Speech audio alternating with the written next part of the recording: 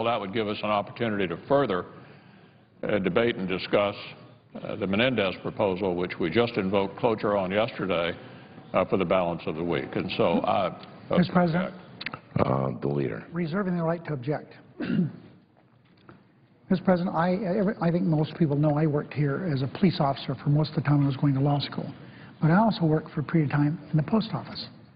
Now, I'm not an expert at post office, but I know the importance of post offices. And I know what's going to happen in the state of Nevada if we don't make some arrangement to help the Postal Service survive. Scores of small post offices in Nevada will go out of business.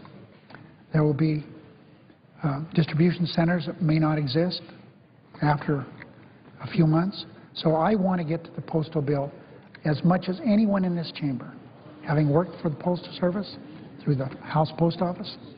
Um, so I, I wanted, I want to move to the postal bill. But I'm not going to be um, forced into doing it at a time that may not work out just right for our schedule, that is, uh, the Senate. So I will move to that shortly after the recess, just as quickly as I can, but I'm not going to agree to a specific time. So I object. For I, I object to the modification. And I, The request for the initial, the request for the initial modification is objected to. and I object to the uh, initial request. Objection is heard for the initial request. Okay. The clerk, the clerk will report the motion to invoke cloture. Cloture motion, we the undersigned senators, in accordance with the provisions of Rule 22 of the Standing Rules of the Senate, hereby move to bring to a close the debate on the motion to proceed to calendar number 296 as 1789, the 21st Century Postal Service Act, signed by 16 senators. By unanimous consent, the mandatory quorum call has been waived. The question is, is it the sense of the Senate that debate on the motion to proceed to S-1789, a bill to improve, sustain, and transform the United States Postal Service, shall be brought to a close? The yeas and nays are mandatory under the rule. The clerk will call the roll. Mr. Akaka, Mr. Alexander, Ms. Ayotte,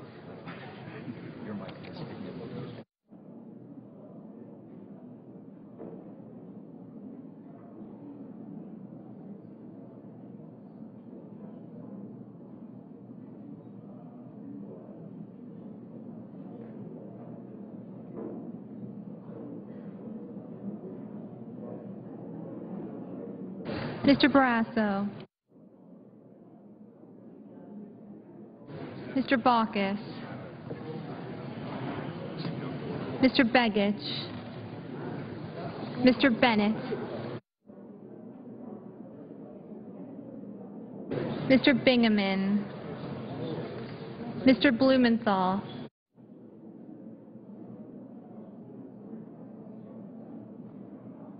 Mr. Blunt, Mr. Boozman, Mrs. Boxer, Mr. Brown of Massachusetts, Mr. Brown of Ohio, Mr. Burr, Ms. Cantwell, Mr. Cardin, Mr. Carper, Mr. Casey, Mr. Chambliss, Mr. Coats,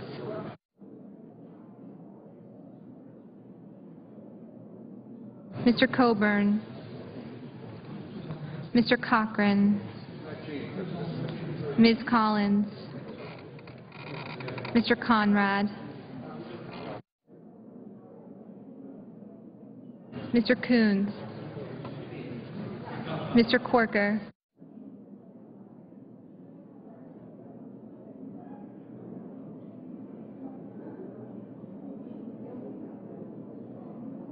Mr. Cornyn, Mr. Crapo,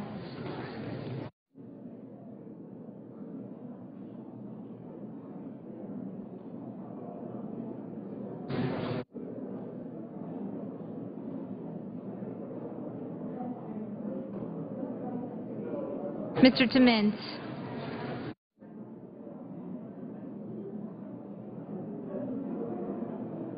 Mr. Durbin.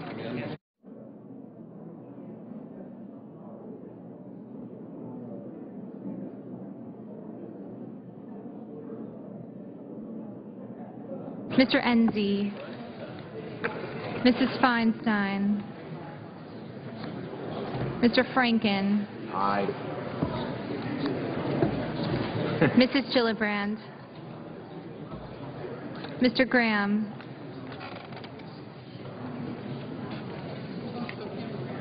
Mr. Grassley.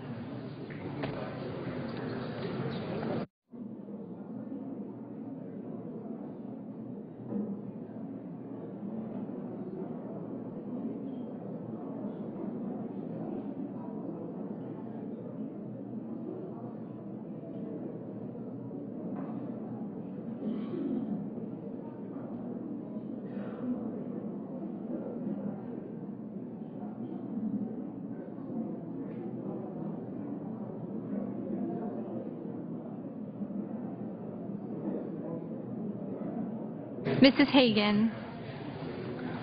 Mr. Harkin. Mr. Hatch. Mr. Heller. Mr. Hoeven.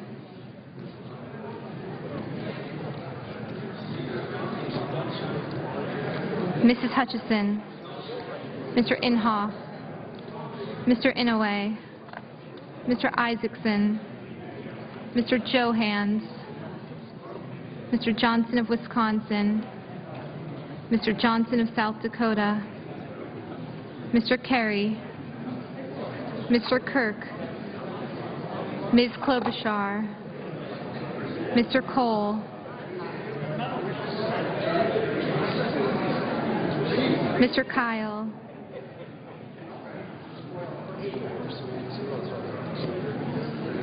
Ms. Landrieu, Mr. Lautenberg. Mr. Leahy. Mr. Lee. Mr. Levin. Mr. Lieberman. Mr. Lugar.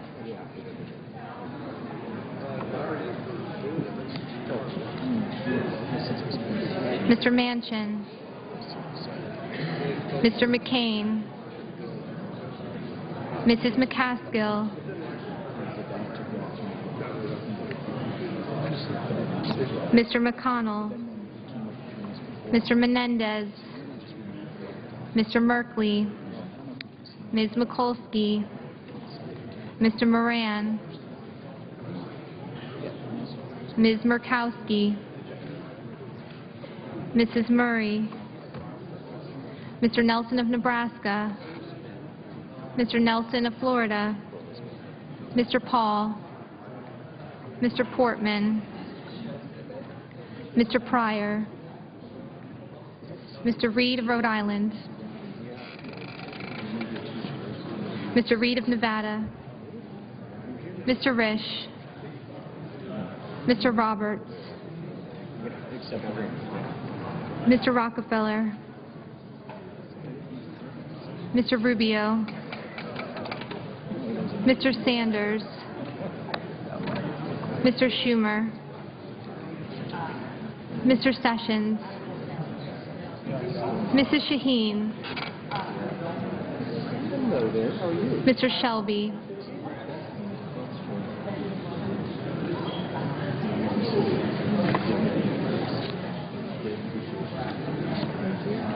Ms. Snowe.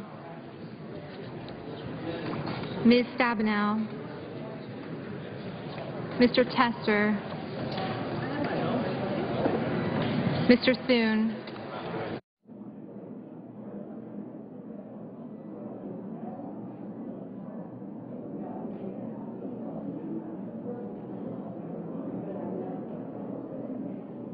Mr. Toomey. Mr. Udall of Colorado. Mr. Udall of New Mexico. Mr. Vitter. Mr. Warner. Mr. Webb. Mr. Whitehouse. Mr. Wicker.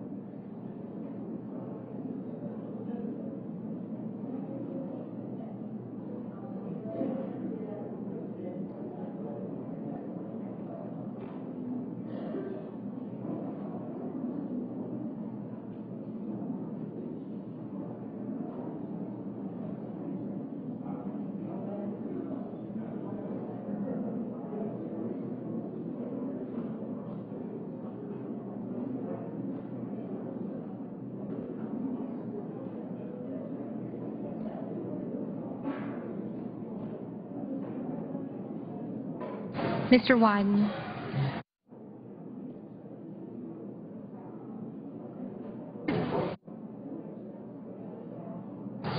Senators voting in the affirmative, Blumenthal, Boxer, Brown of Massachusetts, Brown of Ohio, Collins, Conrad, Coons, Feinstein, Franken, Hagan, Klobuchar, Kohl, Levin, Lieberman, McCaskill, Menendez, Murray, Nelson of Florida, Reid of Nevada, Sanders, Stabenow, Tester, Udall of Colorado, Warner, Webb, and Whitehouse.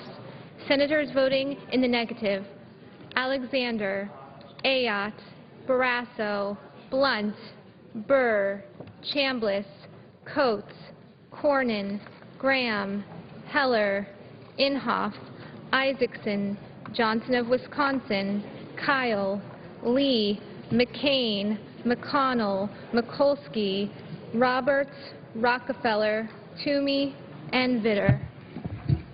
Mr. Corker. Mr. Corker, no. Mr. Casey. Mr. Casey, aye. Mr. Manchin. Mr. Manchin, no. Mr. Lugar. Mr. Lugar. no. Mr. Harkin. Mr. Harkin, aye. Mr. Carper. Mr. Carper, aye. Mr. Leahy. Mr. Leahy, aye.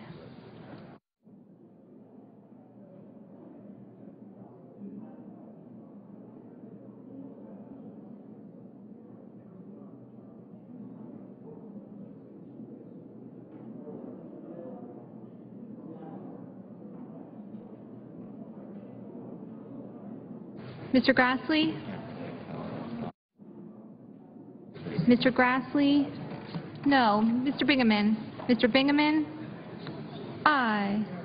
Mr. Bennet? Mr. Bennet? Aye.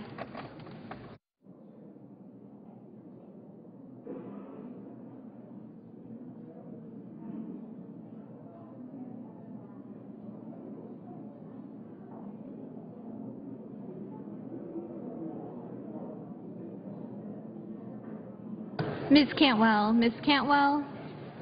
Aye. Mr. Nelson? Mr. Nelson of Nebraska? Aye.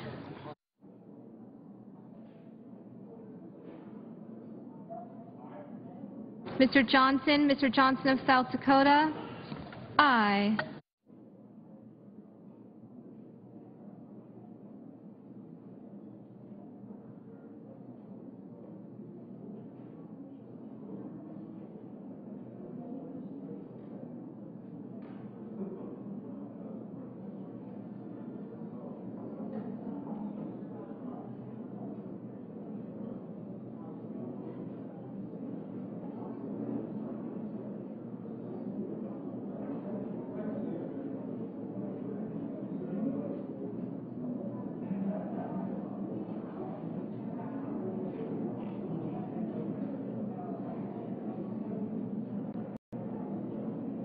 Mr. DeMint? Mr. DeMint? No. Mr. Schumer? Mr. Schumer? Hey, did you take that back? Aye.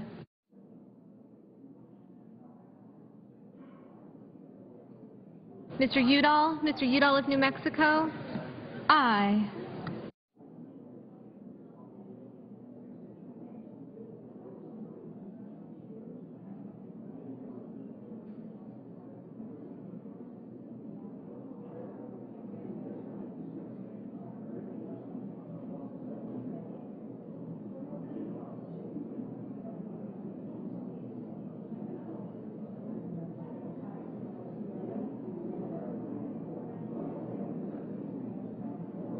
Mr. Reed? Mr. Reed of Rhode Island?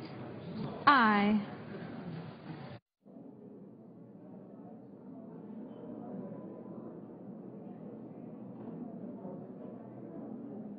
Mr. Coburn? Mr. Coburn? No. Mr. Thune? Mr. Thune? No.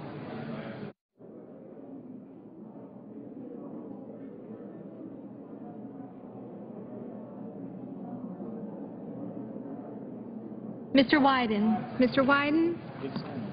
Aye.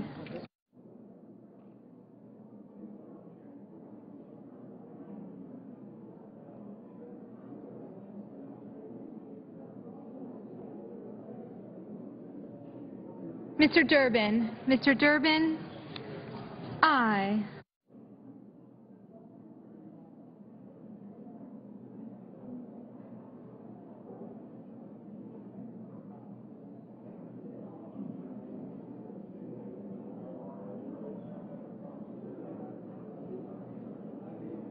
Mr. Johanns? Mr. Johanns?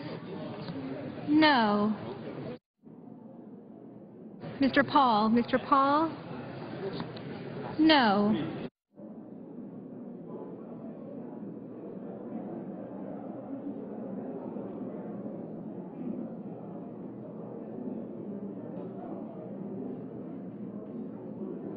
Mr. Shelby? Mr. Shelby?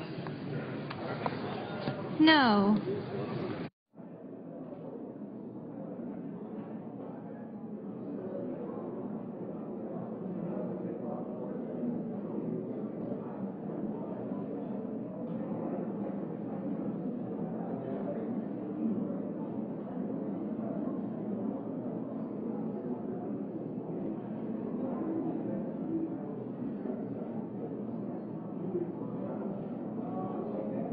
Mr. Cochran?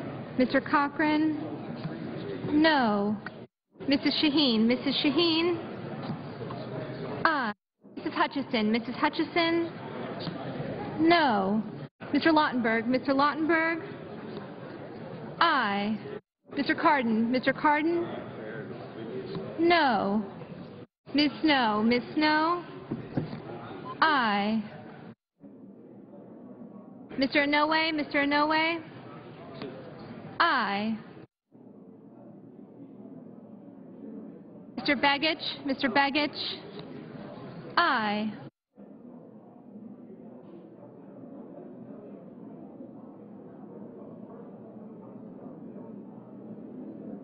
Mr. Enzi? Mr. Enzi? No.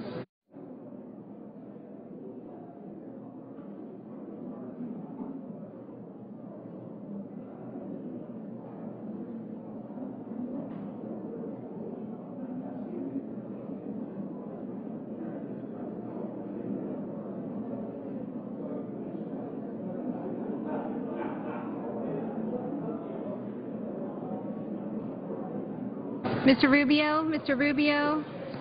No.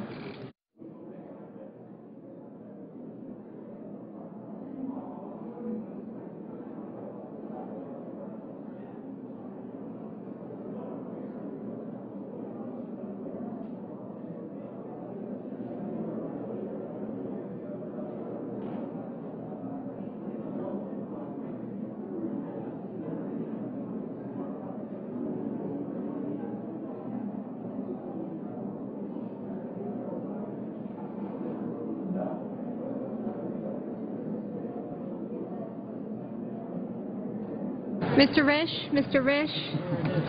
No. Mr. Crapo? Mr. Crapo? No. Mr. Baucus? Mr. Baucus? No.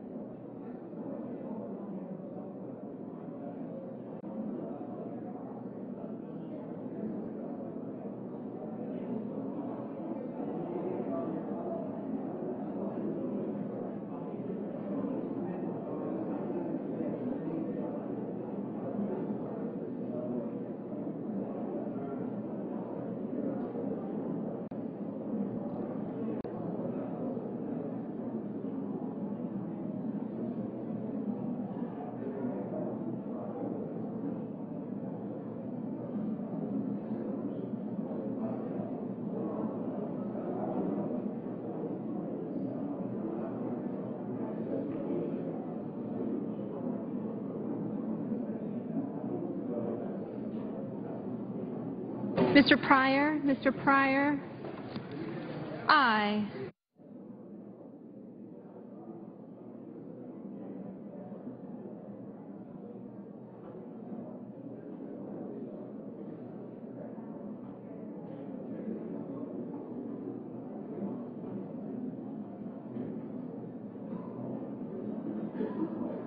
Mr. Wicker, Mr. Wicker, no.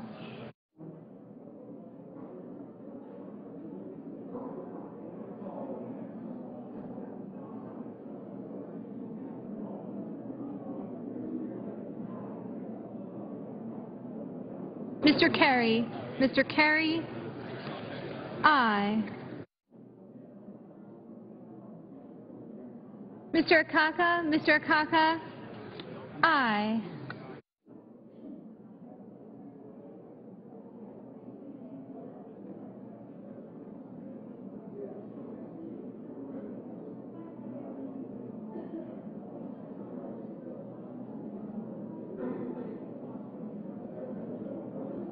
Mr. Portman, Mr. Portman, no. Ms. Murkowski, Ms. Murkowski, no.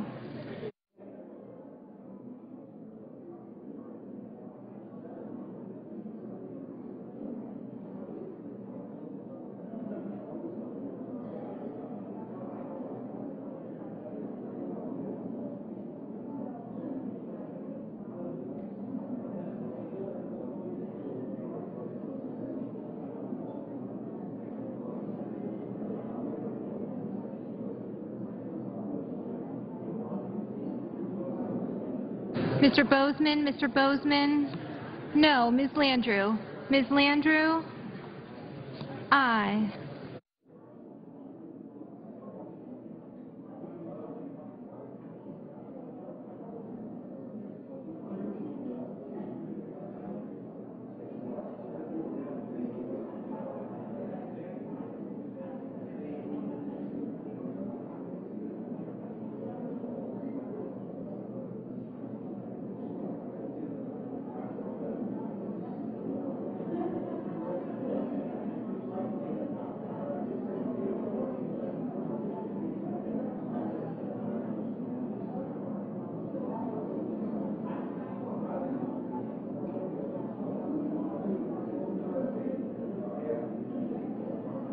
Mrs. Gillibrand, Mrs. Gillibrand, aye.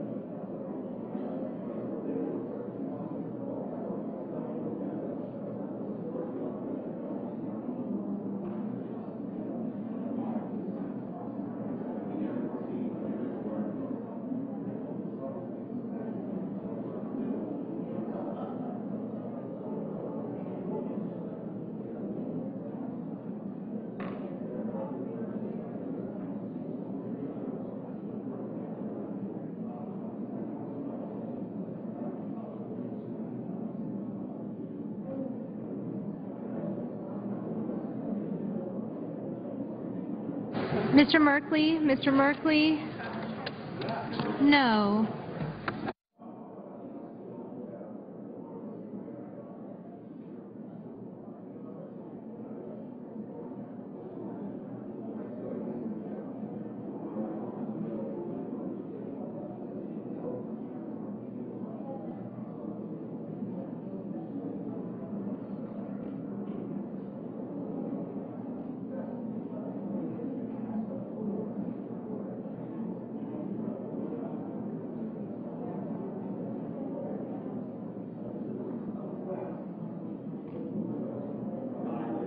Mr. Moran, Mr. Moran, aye.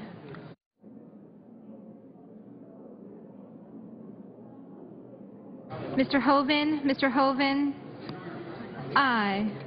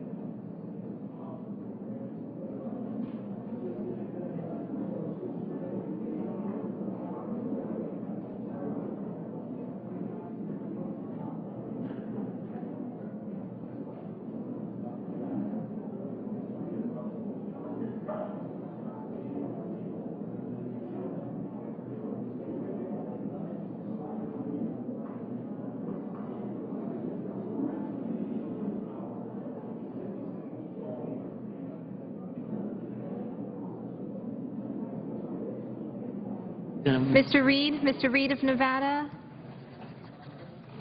No.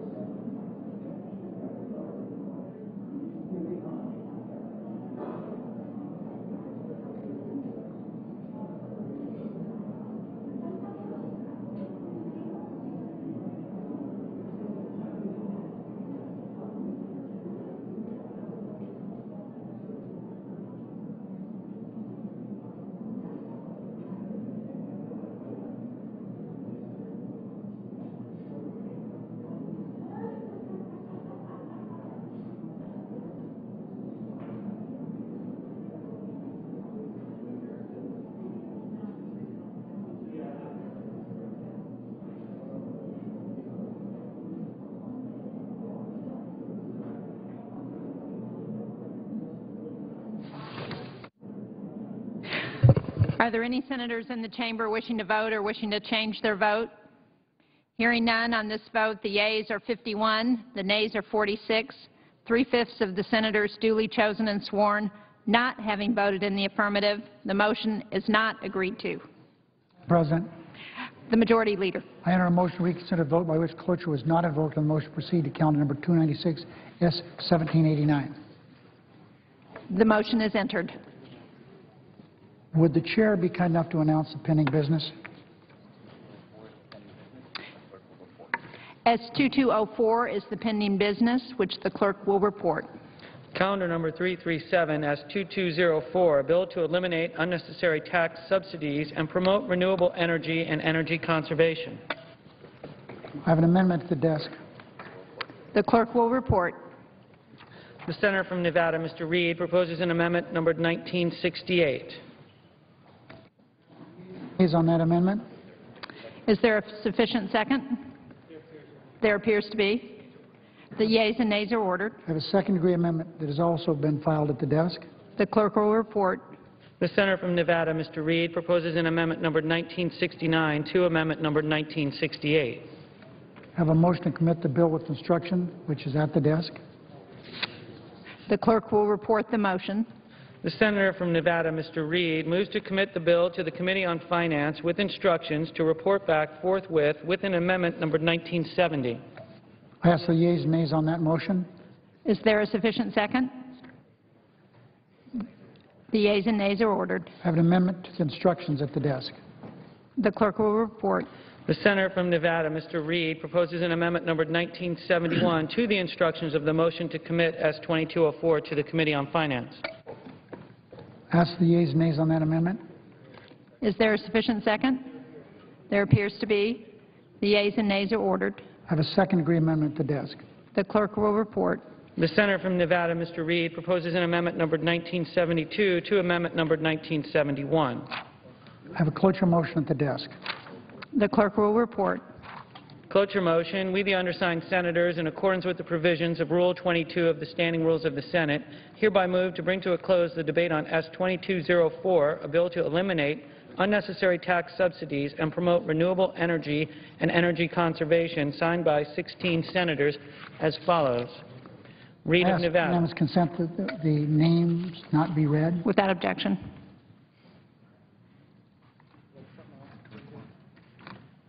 I ask unanimous consent the mandatory quorum of Rule 22 be waived. Without objection. Mr. President, I now move to proceed to calendar 330 339, the Paying a Fair Share Act, which is S 2230.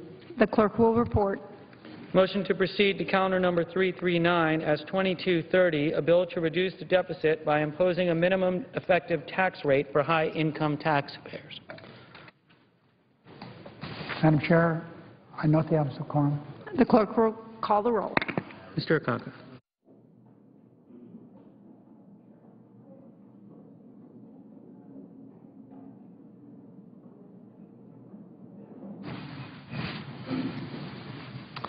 Madam President, The senator from Delaware. I ask unanimous consent that proceedings under the quorum call be vitiated. Without objection. Madam President, I rise today to address a, simple but important issue about what our path forward is to building a stronger and safer America.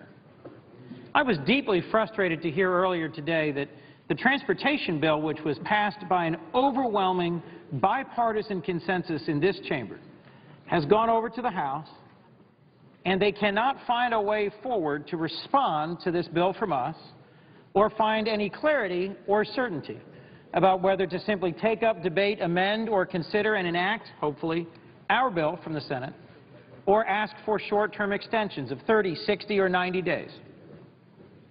Madam President, as you know as a former governor, and as I know as a former county executive, when investing in things as important as bridges and highways, roads that make infrastructure, transportation, and a reliable, predictable future for our economy possible, nothing is more important than certainty.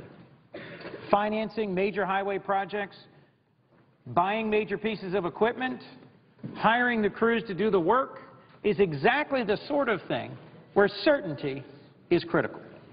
And so I have a simple question to our friends in the other chamber, which is when they will take up this bill that passed this chamber by such an overwhelming margin, and when they will take seriously the broad bipartisan input from every imaginable group in support of this.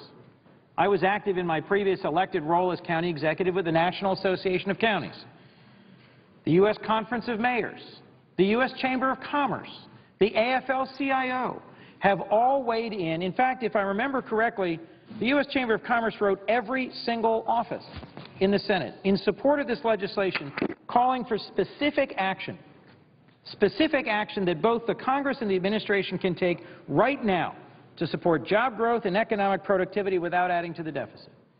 This bill came out of the committee after remarkable work by Senator Boxer of California and Senator Inhofe of Oklahoma, two senators who are widely viewed as being at the opposite ends of our political spectrum here in this chamber.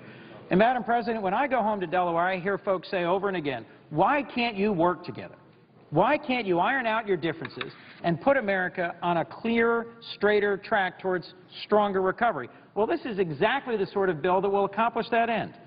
A two-year reauthorization, a $109 billion bill that in my small state of Delaware would create 6,700 jobs, now hangs in the balance. It will expire at the end of this month, and rather than take up and consider and hopefully pass this bill, folks in the other chamber, and frankly, sadly, largely folks on the other side of the partisan aisle here, are refusing to do so, and will instead take a short-term chip shot of an extension. I simply wanted to say, if I might, Madam President, that certainty is something I respect from my years in the private sector. Certainty is something I hear from the other side of the aisle in the other chamber all the time. And this is a moment when certainty can be served by the House taking up and passing the Senate pass bill. Will my friend from Delaware uh, yield for a question? Absolutely. Madam President, I yield to the senator from Alaska. My friend from Delaware, you were a county executive. Uh, I was a mayor of a community.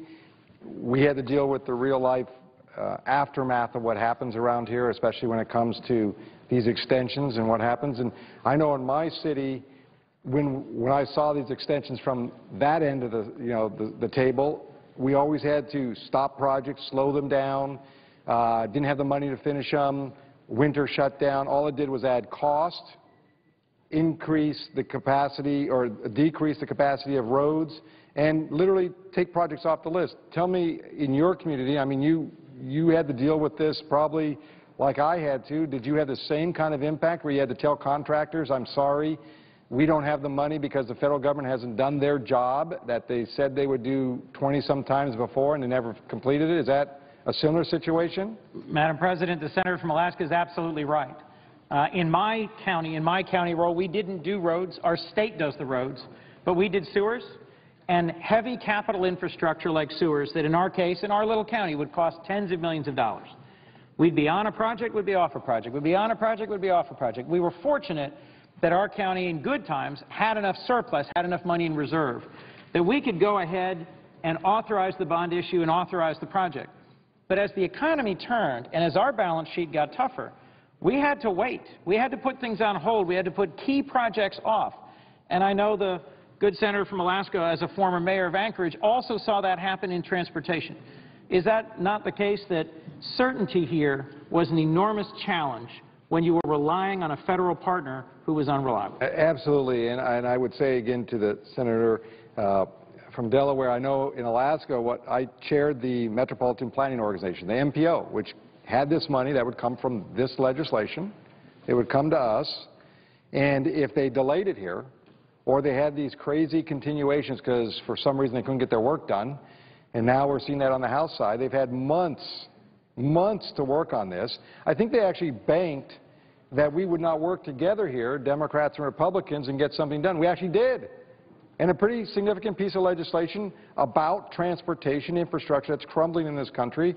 74 votes, bipartisan, from all spectrums of the political persuasion here. And I think they banked that we would fail, but we didn't. Five weeks of work, a lot of compromise, because we know what the impacts are on the, on the street if we don't do this. And I can tell you back home because if the House doesn't take action on a very reasonable bill, a bipartisan bill, what will happen in Alaska is some of these projects will what they call deobligate or not obligate the funds, which means they will delay them. That means the contractors who expected to do work this summer will not. And in Alaska, because we're a winter climate, a lot of northern states have a similar situation, the asphalt plant that lays the asphalt down closes usually the first part of October. So you have a window that shrinks very rapidly. And if you're not careful, the net result is you have no projects and you pay more, which means the delay the House side is doing is going to cost taxpayers more money. There'll be less jobs. In Alaska, we have 18,000 jobs at risk. 18,000 jobs at risk. And at the end of the day, again, you get less product, less roads. So I'm, I can only assume the experience I have here, your state government that works with your county, when you were county executive, same thing they had to go through, like you explained on your water and sewer projects. But as you said, times are different. You can't supplant local money like it used to be because we don't have it. The economy is struggling and starting to come back, but here we are at a moment. The economy is moving the right direction. What are we doing? The house over there is just waiting. I think that's the example you were looking for that we're doing and what we're suffering through. What strikes me most about this, Madam President, and to the good senator from Alaska, is that of all the sectors of our economy that have suffered since the financial collapse of 2008, all the sectors in the entire American economy, at least in my home state, construction was hit the hardest. We already knew that we were far behind in investment. We've got tens of thousands of bridges that are out of compliance with basic engineering standards. Half of our roads are below the standards we would expect for a modern economy. This is money that can and should be invested in putting people to work, in construction, which has suffered from the highest unemployment, where it's got support from the Chamber of Commerce to the AFL-CIO, where we wrestled through the tough processes here over several weeks, as the senator says, and we've got a strongly bipartisan bill over, sitting, ready to go. There's other things that we debate in this chamber that maybe will create jobs, maybe won't. There is no question. Even those who have the strongest concerns about the federal role in our economy can't disagree that federal highway projects put people to work, strengthen our economy, make us more competitive. This bill is ready to go. Why you would not take it up and enact it today, I can't imagine. And to the good senator from Alaska, I might say, you may have a somewhat shorter summer season than we do, but if you've got 18,000 jobs at risk, I can only imagine the kinds of calls you're getting from your home state as I'm getting from my state, urging that the House of Representatives take up this strong and bipartisan bill and pass it so we can all move forward and create some real jobs. Last comment I'll, say, and I'm sure, uh, just more of a question, I'm sure you have the same situation as you just described. Yes, getting those calls, and they're not just, you know, people say, well, this is a union thing. No, it's union, non-union, chamber, environmentalists, neighborhoods, community councils. It's everybody you can imagine because these are real jobs about real people, about real communities. Over there, I think they think it's some theory that, oh, if they delay it, nothing really will happen. They're wrong because you and I have lived on that other side and had to live with the consequences of inaction. And this is one of those bills you look for where there's bipartisan support, all the groups that are out there from all walks of life support it, and everyday people understand it. When I was back in Anchorage and I'm getting some petroleum, some gas at the gas station, someone come up. and They'd ask me, because why? We're just about to start our season in the bidding process. Because you got to take 30, 60, 90 days to get the bids out, and then you got to actually construct. I think they sometimes think over there in the House that it's some fantasy land that whatever they do really has no effect. This does. I think you said it very clearly, and I just really appreciate you allowing me to ask a few questions and more commentary at times here, but it seems the most ridiculous thing with American people, Alaskans are telling me every day, work together, create a bipartisan legislation, whatever it might be. Here's one we have done successfully, and now we're ready. But over there, they're just playing politics. They've now tried, tried twice to do something this week, and they still can't get it moving. So I would encourage them on the other side to just move forward on the bipartisan bill that the Senate has passed when I know they were banking we wouldn't pass it. We did it. We did our work. The American people are waiting and waiting for these jobs. The contractor community is ready. The communities are ready. It's time to move forward. So thank you for allowing me to ask a few questions and give a little commentary. Um, thank you to the senator from Alaska. Thank you, Madam President. As we both know from our former roles, when you have a short-term extension, there are costs. It means that folks who are getting mobilized, getting organized, getting ready, you have to pull them back. When the state coffers, the county coffers, the municipal coffers don't have the ability to float and put in place for the federal funds that they're waiting for, it means projects get canceled, people lose their jobs, opportunity and optimism that we're moving forward get pulled back. We've got folks all over this chamber and the other, former governors, former mayors, former county executives, former business leaders, who know the importance of a strong and reliable federal partnership in strengthening infrastructure in this country.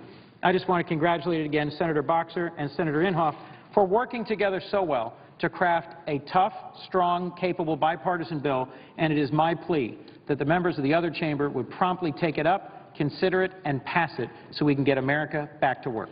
Thank you, Madam President. With that, I yield the floor. Madam President, The senator from California. Madam President, before they leave the floor, I really, uh, I want to thank uh, Senator Coons and, and Senator Begich and you, Senator Shaheen, Madam President, for your very important words that you gave today in behalf of the House taking up and passing the bipartisan Senate transportation bill. And it's interesting to note we also had uh, the senator from Alaska, the senior senator, Senator Murkowski, also speak out in favor of the House picking up and passing the Senate bipartisan bill. I also served in county as a county supervisor a long time ago. But I think we all understand that what we do here makes a difference. You know, this is one nation under God, indivisible. You can't have a circumstance where one state puts their funding, their own funding from their state into highways, but the next door state does nothing, and you can't really have commerce. And that's why I thought Dwight Eisenhower, when he was president, Republican president in the 50s, said it well. He was a logistics expert. And he's the one who started the national highway system because he knew from his experience in war that you've got to move goods and people. And he also knew, as his role as president, that in order to be a strong economy, we had to do the same thing here at home. So for me to see this House dither as they are doing, they are dithering on a bill. All they have to do is take up the bipartisan bill. For goodness sakes, they got three quarters of the Senate to support it. And all we need is 218 votes. And you know, when I served in the House for 10 years, what did I learn? You needed 218. And Tip O'Neill never cared where he got his votes. He just got the votes for the American people. So I have written letters to uh, Congressman uh, Boehner, Speaker Boehner, and Leader Cantor, and I have begged them to please work with us on this bill. And all we get back are statements from their staff, uh, well, we're going to do it our way. And as Congresswoman Pelosi, the Democratic leader, said today, when you say my way or the highway about a highway bill, you really don't get much done.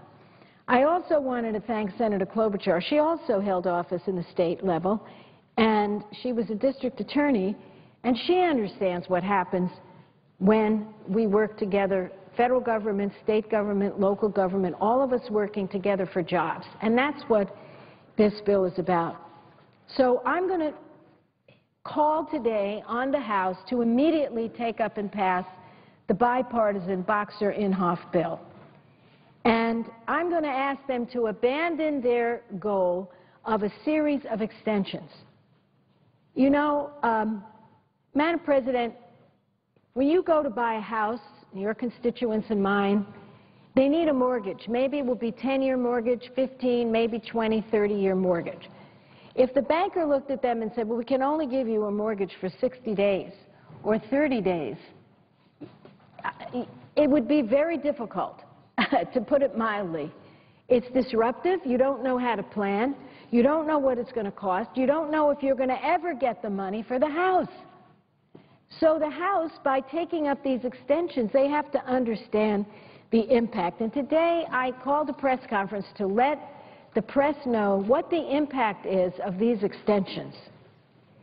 The extension means job losses. And we started to put together a list from that are coming to us from the state of job losses already happening in the field because of the lack of action by the House. North Carolina, I spoke to the Secretary of Transportation there today. He has delayed the remaining 2012 projects totaling 1.2 billion that would employ 41,000 people. So 41,000 people do not have work as we speak today because the House is dithering and not passing the bipartisan Senate transportation bill. I spoke to the officials in Nevada. Thousands of jobs there lost as we speak because the House is considering an extension instead of passing a bill such as our bill. Maryland, I spoke to them, same thing, thousands of jobs. I spoke to Michigan, same thing.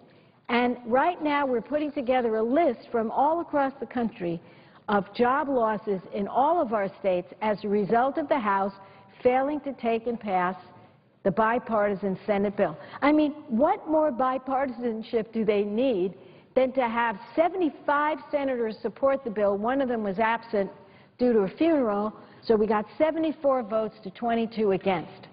Okay? What more do they want? Now, anyone watching the Senate today sees how paralyzed we are. We haven't been able to do a thing. There's filibusters on fixing the post office. There's filibusters on making sure that uh, big oil doesn't keep ripping off consumers at the pump. Filibuster, filibuster, filibuster, filibuster. But we were able to get over all that and pass a transportation bill. Why wouldn't the House be thrilled about that? Why wouldn't the House embrace what we did? Why would the House instead stand up again today and say, we're going to have a 60-day extension? Guess what? They pulled it, Madam President. They're not having a vote on that today because of the uproar it is creating in the states and on the House floor. The House has not delivered on its promise for a bill. All they do, the leadership, is complain about our bill. Today, I couldn't believe it, Chairman Mica said we don't pay for, th this bill isn't paid for. When Senator Baucus and Senator Thune and others worked across party lines to pay for our bill, it's 100% paid for. And guess what it does? It protects 1.9 million jobs and creates another million. That's what our bill does. So they're pulling this vote. They're pulling this vote today. Good, I'm glad they're pulling this vote because they ought to instead pass the bipartisan Senate transportation bill. I want to tell you a story about what's actually happening out there in the economy. If we do nothing, 1.9 million jobs are gone. 1.9 million jobs on March 31st. If we do an extension, then you have death by a thousand cuts. A proportion of this, these jobs are lost, and it keeps getting worse with every extension. So it's the end of these jobs, but slow, torturous end of these jobs. I want to show you, Madam President, how many unemployed construction workers there are. 1.4 million. Why is that? When the unemployment rate is 8.3 percent, the unemployment rate among construction workers is 17.1. Why is that? Because we were having a very tough housing crisis and we're not out of it yet. So all of these workers who are building houses now were hoping to be able to build highways, build freeways, fix bridges. And our bill does that. Our bill will take these people and put them to work. We could get this unemployment rate down to 400,000 because we'll take a million off this with the expansion of the TIFIA program, which stands for Transportation Infrastructure Financing, which upfronts the money for cities and states and your state and mine and others and gets projects built faster. So I'm going to show you what it would look like if you put every unemployed construction worker into a football stadium. This is a Super Bowl stadium, and it's filled.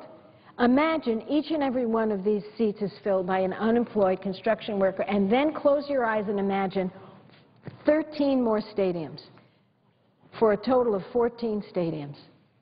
14 stadiums full of unemployed construction workers. That's what we're facing And yet and still, the House will not take up and pass the bipartisan transportation bill.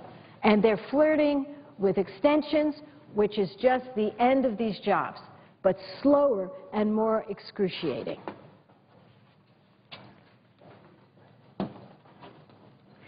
Now, we talk about jobs, but we have to talk about businesses. These jobs are private sector jobs, and these businesses, over 11,000 of them, are construction companies who would be adversely impacted. I met with business owners. One man was teary-eyed. He said, Senator, I've had to lay off a 1,000 people because of the indecision here, because of the constant extensions we've had on the highway bill. We need your bill now. And I said, I understood. He said, I can't look at another worker. He said, extensions are like living hand to mouth. It just doesn't work. If you know, again, that all you're going to get is 90 days worth of federal funding, how can you let a contract for a year? No one's going to go out and let a contract for 90 days for a big program that lasts for a year, a year and a half of construction. So we just have to remember we're not just talking about workers, we're talking about the businesses that support those workers.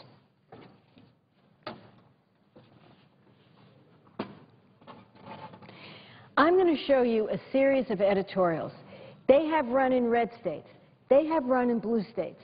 They have run in purple states. Madam President, I'm going to make a statement here and I'm going to stand by it. Everyone in America gets this except the House of Representatives. Everyone in America gets this except the Republicans in the House of Representatives, save a few of them who are courageous. Four of them have broken off. One of them from your home state, two of them from Illinois, one of them from North Carolina, and they said, you know what, we stand with those who say take up and pass the Senate bipartisan bill. Good for them for showing that kind of courage. And I say to you now, it's a quarter to five in the evening. If any of them are tuning in to this little discussion, listen to what these newspapers are saying. House should pass transportation bill. The number one priority for the House should be passing a bipartisan transportation bill, as the Senate already did on a 74-22 vote. The Senate has done its job. House Speaker Boehner should drop the notion of passing an extreme Republican-only bill and do as the Senate did, craft a bipartisan bill that could pass both houses. This is Fresno Bee. That is in the reddest part of California. Trust me when I tell you, I know that. It's the reddest, most Republican part of California, and they're asking the House to pass the Senate bill. Then we have the Michigan Detroit News. Congress, congressional waffling hurts states' roads. The U.S. Senate has approved a bipartisan plan. While imperfect, it's better than any than another reprise of an outmoded Transportation Act that has already been expanded, extended eight times. The disarray hardly gives states the kind of revenue certainty they get from a federal plan, but if Boehner and House members can't agree on their own plan, they'd probably be wise to take what's politically possible and pass it.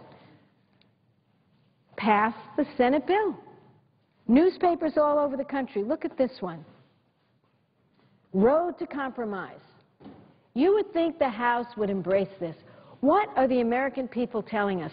We are viewed, we in the Congress, as fighting constantly.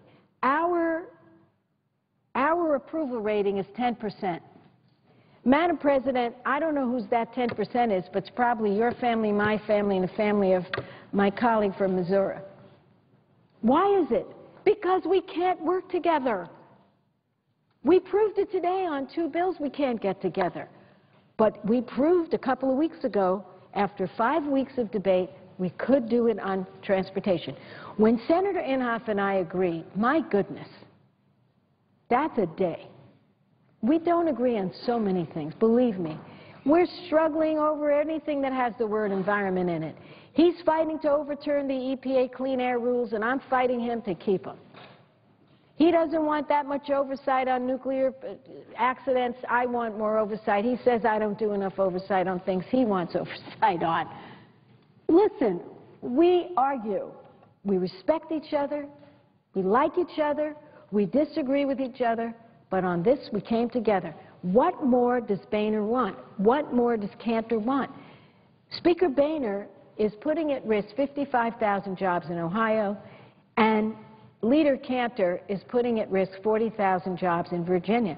Don't they care about the businesses and the workers there?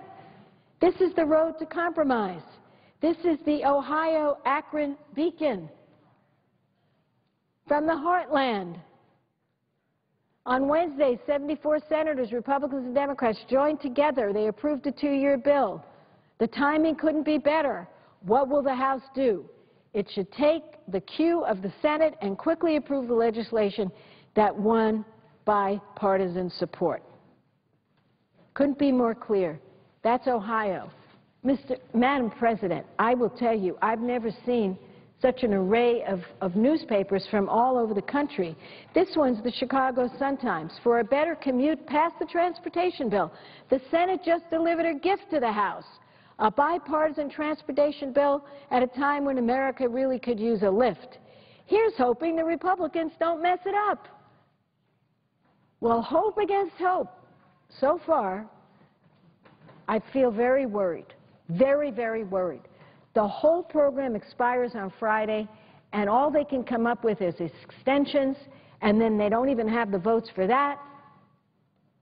How bad would it be for them to give me a call, give Senator Inhofe a call and say, you know, we're going to come over and sit down and bring the bipartisan leadership of the committees, there were four of them, bring the bipartisan leadership of the Senate, and let's hammer something out.